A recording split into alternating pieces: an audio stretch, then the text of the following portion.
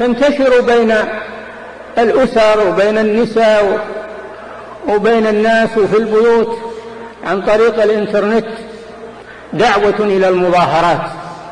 مظاهرات لأي شيء. دعوة إلى المظاهرات. والمظاهرات حرام. ليست من دين الإسلام. وإنما هي من دين الكفار. ليست من دين الإسلام في شيء.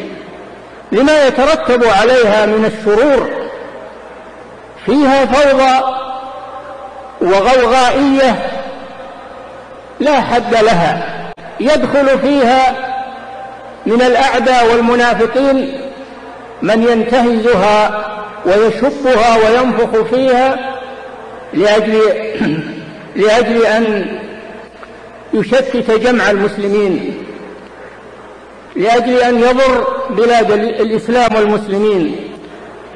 المظاهرات فيها سفك دماء فيها تخريب فيها فوضى فيها سلب ونهب يتسلط فيها قطاع الطرق تسلط فيها السراق والعصابات. العصابات المجرمة لسلب أموال الناس والهجوم. على بيوتهم وعلى متاجرهم وعلى طرقهم البرية بسبب هذه المظاهرات.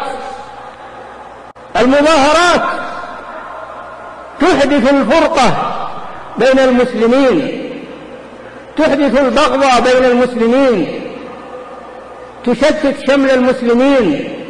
هذه بعض ثمار المظاهرات. إذا جازت المظاهرات أو أجازها نظام الكفار فإن الإسلام لا يجيزها أبدا. ونحن مسلمون ولله الحمد. فإذا أجازوها في نظامهم فديننا يحرمها. ونحن مسلمون. نأخذ بكتاب الله لا بقوانين الفرنسيس أو غيرهم. الذين يحدثونها ويدعون إليها هم بين فريقين. الفريق الأول الكفار. والكفار هم الذين يخططون لها وتنبح كلابهم في إذاعاتهم لتشجيعها وشب نارها بين المسلمين. وإما كما ذكرنا من أبناء المسلمين الأغرار الذين غرر بهم ممن تلوثت أفكارهم تغيرت ثقافتهم سمعوا هذه الدعايات العدل والمساواة والحقوق وما أشبه ذلك من الدعايات الباطلة. نعم الناس لهم حقوق ولكن المطالبة بالحقوق ليست بالمظاهرات والفوضى. تضيع الحقوق ويضيع أكثر منها.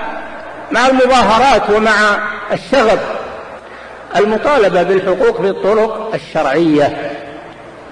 الطرق الشرعية الترافع إلى المحاكم الرفع إلى ولي الأمر. لها طرق شرعية. أما بالمظاهرات فإنها تضيع ويضيع غيرها وهذا ما يريده الأعداء.